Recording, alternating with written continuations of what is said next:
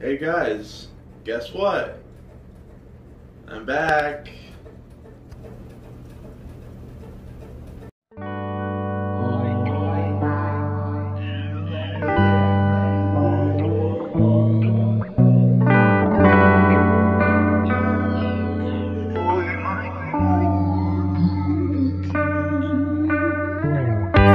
Hello everyone, I'm Blake Childers. I make films. I'm that one filmmaker. And hello everyone, I'm Blake Childers. I'm that one filmmaker. Hello everyone, I'm Blake Childress, and I'm that one filmmaker.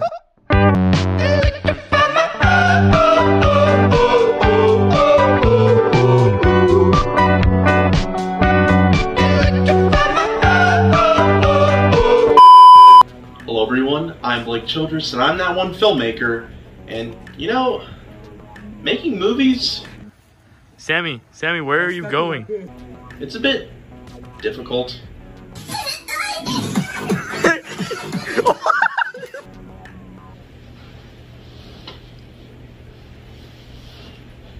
This isn't part of the video. I'm just... Oh. But I'm back with some more reviews. I'm hoping I can start making reviews on a more consistent schedule now that I've finished making Meta. But to celebrate my return of reviews, I wanted to review something interesting. Something new. Something different. Something I should have reviewed on Halloween.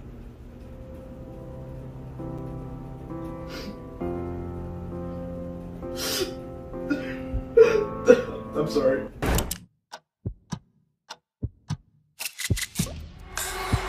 So I wasn't aware of this until like a few weeks ago, but apparently our boy Jason Blum partnered with Amazon Prime and created a horror anthology series. Oh no. Let me play among the stars. He's the pilot. The weird thing is that Welcome to the Blumhouse is not comprised of TV episodes like Twilight Zone or Black Mirror, but it's instead comprised of four feature length movies that I guess have no connection to each other at all. I mean, I tried looking for references to the other films within the movies, but as far as I can tell, there was no effort to even attempt that.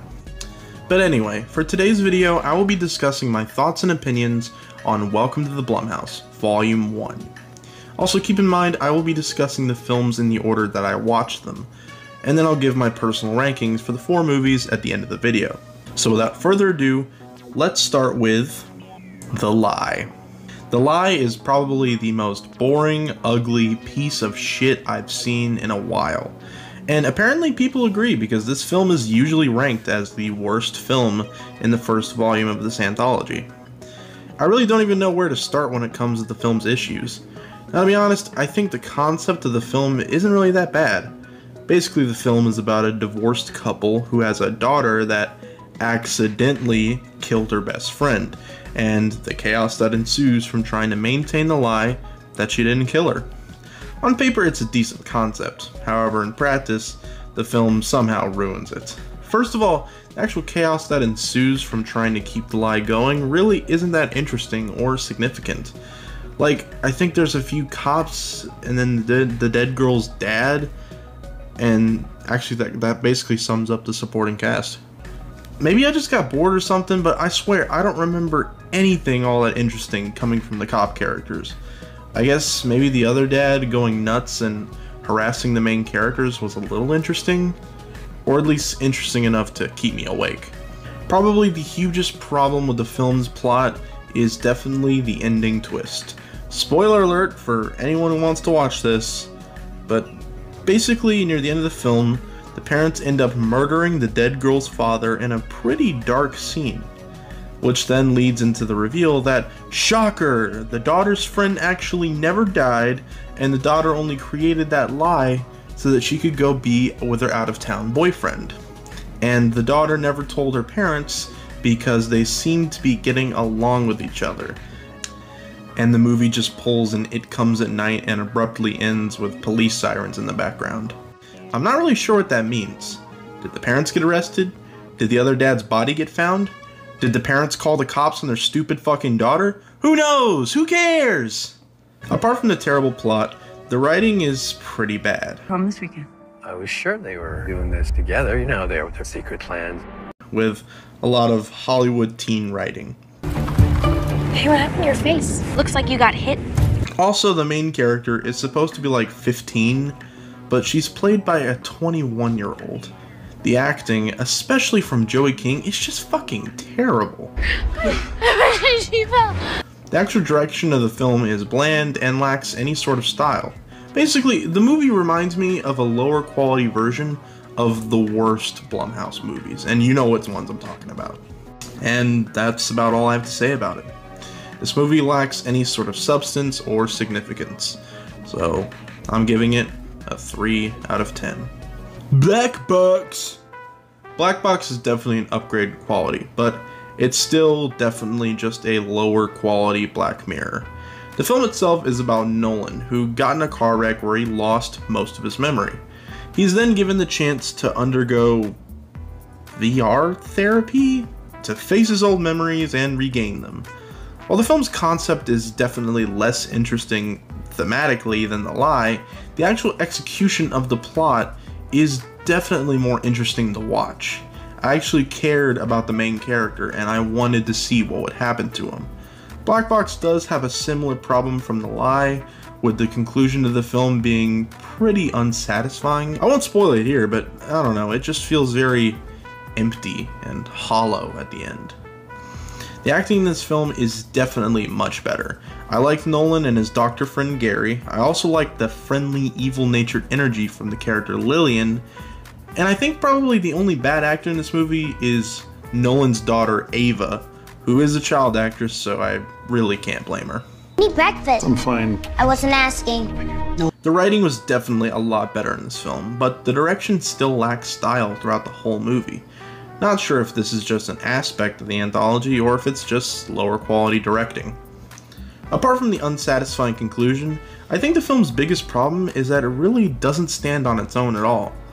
While the longer Black Mirror episodes like USS Callister were TV episodes, they're good enough to the point where they work as great TV movies. But Lie and Black Box both feel like Twilight Zone episodes that just go on and on and on for way too long. Like, I could not imagine these movies being released in theaters. And hell, now that I think about it, compared to the originals from Netflix and hell, even Amazon Prime, these two movies just lack that cinematic quality. And for that, I give Black Box a 7 out of 10. Evil Eye. Evil Eye is a bit of a step down. While The Lie was flawed due to its execution of its decent plot, Evil Eye as a film is not made poorly at all. In fact, I'd say it's much more visually interesting than The Lie and Black Box, which isn't really saying much, but it's something. My problem with Evil Eye is it's conceptually just the dumbest shit I have ever seen. I mean, I don't know, a mom's dead abusive boyfriend coming back from the grave and dating her daughter as revenge just sounds stupid. He is Sandeep. Sandeep is him. I think if maybe they made it to where her daughter's fiance was actually just some normal guy and it's a story about a mother struggling to let her daughter go because of her own psychological problems and fears. It probably would have fixed the movie's concept and also probably would have given some sort of thematic statement on a mother's trust in her daughter's instincts and the relationship between a mother and a daughter. But no, like the mother calls up the fiance near the end and he just admits, "Oh yeah, I came back and now I'm going to get your daughter and we're going to we're going to be one big happy family." I mean, I'll admit I was interested in what I was watching, but that was mainly just because I wanted to see where it would go. Could they pull off a good movie with a premise as stupid as that? And they didn't. The message of the film is also just really demeaning and weird. I guess the message is follow everything your parents tell you because they're your parents and they're much wiser and know better than you. Or maybe it's just don't fuck your mom's dead ex boyfriend. Thanks, Jeff Bezos. Apart from that, the movie is pretty much fine in every other aspect. The cinematography and lighting are decent. The acting is fine. The writing was absolute dog shit. mainly because it falls victim to the adaptation problem, where the screenplay sounds less like actual people talking and more like characters in a book talking. Hmm. Are you wearing a bracelet? Yes. Good. It will protect you, darling. If you're not careful, bad things could happen. Which apparently this movie is an adaptation of an Amazon Audible original. So. Eh, I give Evil Eye a 3.5 out of 10. Nocturne. Nocturne is considered the best in Volume 1 by some, which honestly makes sense. The movie definitely has the most creative visuals and direction. Like, the cinematography and lighting actually look like someone put effort into it, which is refreshing considering the other three movies were somewhat mediocre and bland with their visuals. I'd go as far to say that visually, I think this movie is just as decent as something like Hereditary. Well, okay, I'm exaggerating a bit, but I guess it's like a B grade Hereditary ripoff. Which, I mean, ain't that bad. However, I gotta be honest. This film's biggest problem is actually quite the opposite of the other three films. While I hated the execution of their plots, most of them had okay concepts.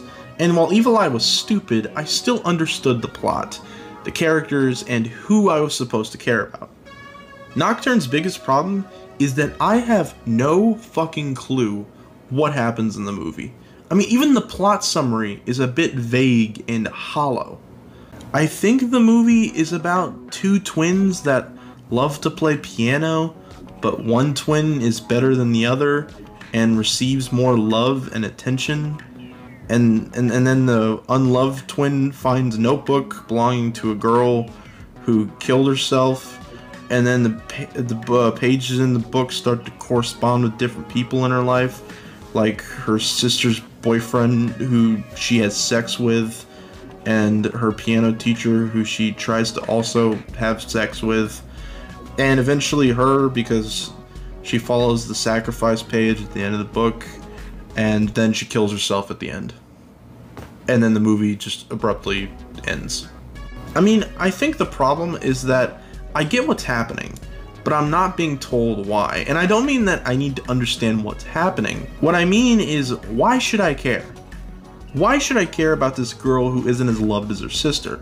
She's an arrogant asshole throughout the whole movie. What if I could be more? What if I could be great? All I need is a chance to prove myself. There's no interesting transformation arc for her character, and her death isn't horrifying or satisfying or anything. She literally jumps off a building and fucking dies.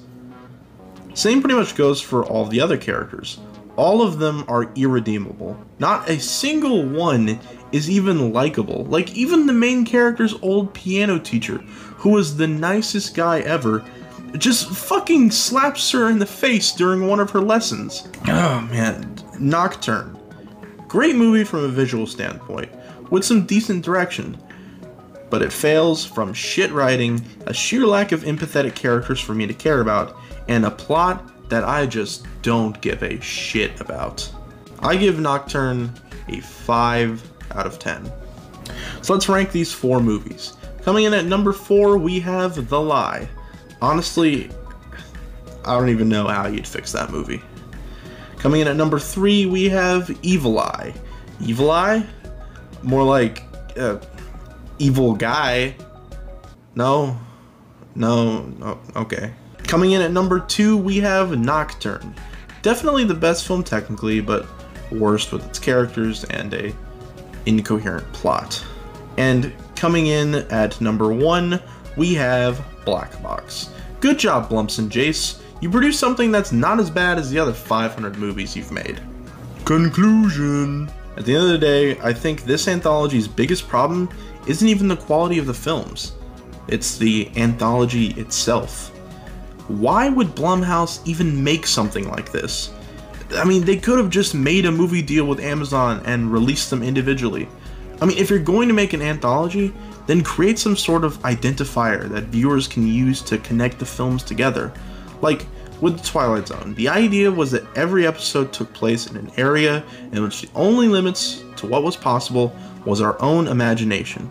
And every episode utilized horror and sci fi elements to teach a lesson about the human condition and other sociological concepts like racial inequality, political corruption, and that's just to name a few. The same thing can be said for Black Mirror. Black Mirror is connected through its commentary on the advancements of technology. Each and every episode details technology and how it relates to people. Hell, the title itself relates to that. What is a Black Mirror? Look at your phone turned off or a TV that is turned off. Boom, it's a black mirror. You see a dark reflection of yourself through technology. So the show itself is a dark reflection of humanity being affected by advancements in technology. But with Welcome to the Blumhouse, there is no connection. I mean, I guess I thought I saw the same house set in Evil Eye and Black Box, but I, I really don't know. With no connection to each other, these films are forced to stand on their own, and they just aren't good enough to do that. Instead of feeling like a decent anthology with four distinct visions, we just have four flawed films that I really don't see myself ever watching again. I guess I'd recommend Black Box, but the other three you can just throw in the fucking garbage. Blum, please, for the love of God, make sure Volume 2 is better than this. I mean, you're making eight films. They can't all be bad. Right? Thank you guys so much for watching this new video. Let me know what you guys think in the comments. Have you seen these movies? Do you agree with what I said? Or do you think the first volume of Welcome to Blumhouse is actually good? Like this video if you liked it, dislike it if you dislike it, and also remember to share this video with your friends and family as a special way of saying thanks. Actually, no. Cut that out. That was stupid. I'm Blake Childress, and I'm that one filmmaker, and I hope you're having a wonderful Thanksgiving. Bye bye now.